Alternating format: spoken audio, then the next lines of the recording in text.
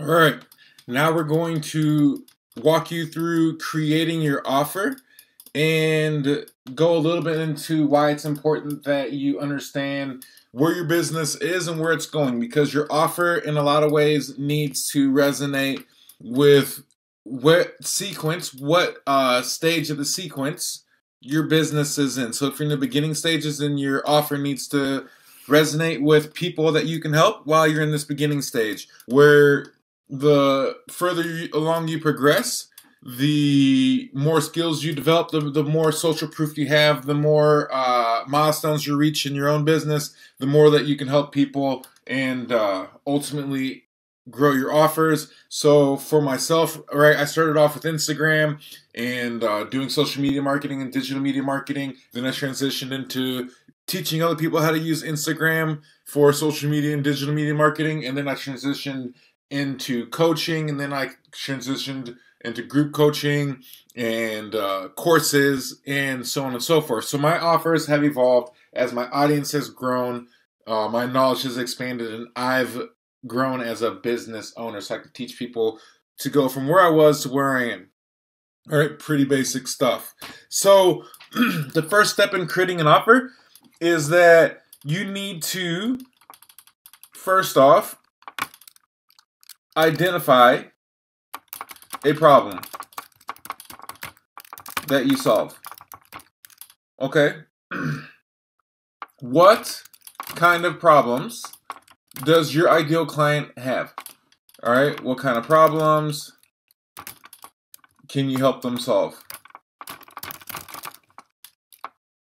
Okay, uh, you should know this because we've done many, many trainings, and I talk about it all the time about your ideal client, niching down, and creating an avatar. So you should know this by now, all right? So identifying a problem that you can solve. Uh, big problems. All right, you want to solve big problems, ones that will help them make their life easier.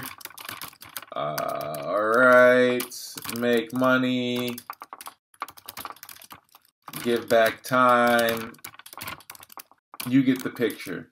Okay? So make a list. I would make a list of like five or ten things. Identify a problem you could solve. I'd say like make a list of five to ten things.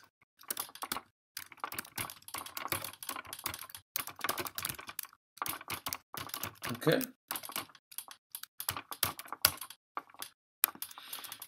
Now, for each one of these problems, you want to create a solution. Okay, so create a solution for each problem. You want to uh, think of every way your solution wouldn't work.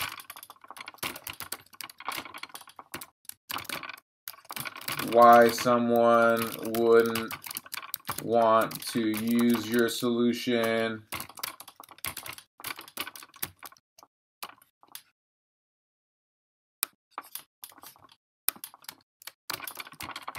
potential uh, roadblocks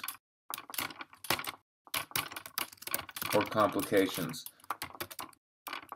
The reason you want to do this is because you want to have everything you want to have everything potentially negative against your solution already thought about. All right? You, you want to have it already thought about. Again, you want to lay out your value ladder. We've done a training on your value ladder already, so you want to lay it out and you want to make sure that you have something for each piece of your value ladder. Have a offer for each level of your value ladder. Alright, so that'd be free slash lead magnet, low ticket, mid level, high ticket.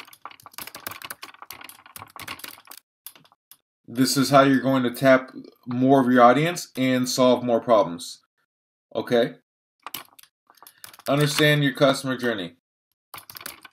It must flow.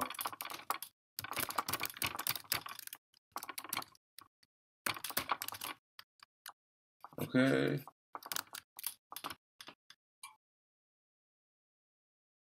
So when you're thinking about this, you you really want to understand uh,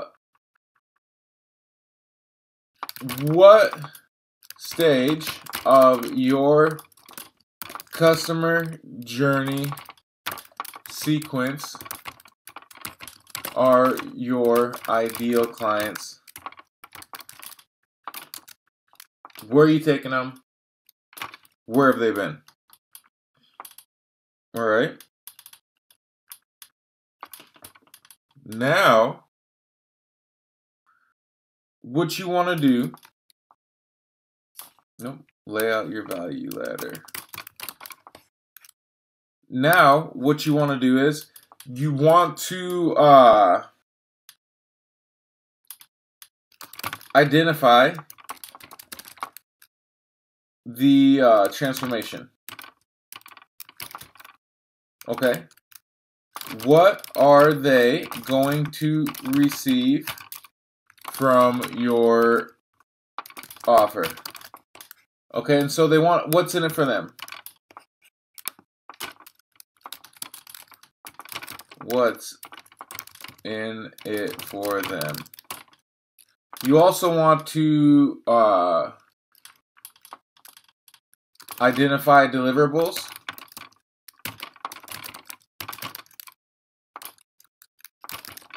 what's tangible, right? What's real to them? What are their desired uh, results? What should their desired results be? All right.